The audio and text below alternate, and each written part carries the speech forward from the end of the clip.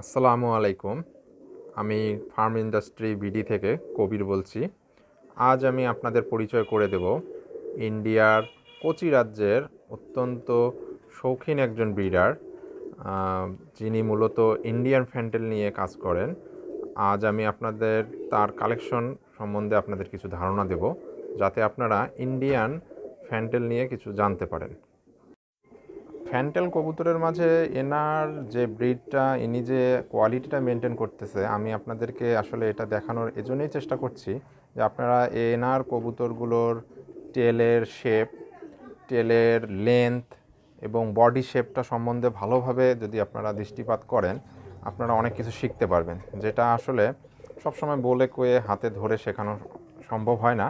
কিছুটা নিজের বুদ্ধি খাটিয়ে হলেও আমাদের জানার বা শেখার চেষ্টা করা উচিত।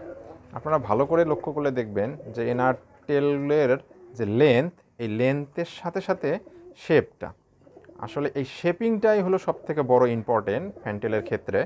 যদি টেল অত্যন্ত বড় হয়ে যায়, কিন্তু শেপে না থেকে এদিক ওদিক ছড়িয়ে থাকে বা ফেটে যায়, তাহলে কিন্তু আসলে ফ্যান্টেলের সৌন্দর্যের কিছুই থাকে না। তো এনারও ফার্স্ট জেনারেশনের যে কবুতরগুলো ছিল সেগুলোও আসলে মূলত অনেকটা ছড়ানো, ছেটানো টেলের মধ্যেই ছিল বাট সেগুলোর লেন্থ অনেক লম্বা ছিল। কিন্তু পরবর্তীতে ইনি তার এই বড় শেপটার মাঝে কিছু মিডিয়াম সাইজের বাট অত্যন্ত ভালো শেপের দুবাইয়ের কিছু কালেকশন এনার ইনি করেন দুবাই থেকে, যেটার লেন্থের থেকে শেপিংটা ছিল ভালো। সো এর ফলে দেখা গিয়েছে যে এনার কাছে যে জেনারেশনটা ছিল অত্যন্ত বড় সাইজের যার বডি চেস্ট এবং টেলের যে লেন্থ এটা ছিল অত্যন্ত বড়। যার ফলে উনি যখন মিডিয়াম টেলের নিউ শেপের কবুতরের সঙ্গে ব্রিড করায়, তো এনার আসলে জেনারেশনটা খুব অত্যন্ত স্ট্রং থাকার কারণে এনার এখন পর্যন্ত বড় শেপের কবুতরগুলোর মাঝেও বড় বড় টেলের যে কবুতরগুলো, তার মাঝেও শেপটা অত্যন্ত চমৎকার হয়ে গেছে।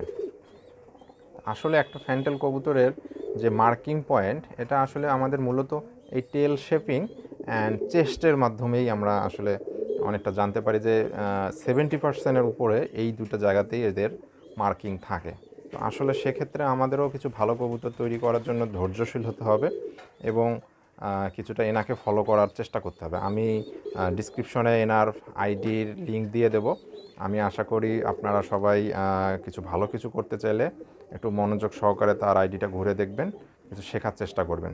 আর ভালো লাগলে আমাকে উৎসাহিত করবেন, আমি আগামীতে আপনাদের আরও ইনফরমেশনাল কিছু ভিডিও দেওয়ার চেষ্টা করব। আমার চ্যানেলটা যেহেতু অত্যন্ত নতুন, আপনারা সাবস্ক্রাইব করে আমার পাশে থাকবেন। আসসালামু আলাইকুম।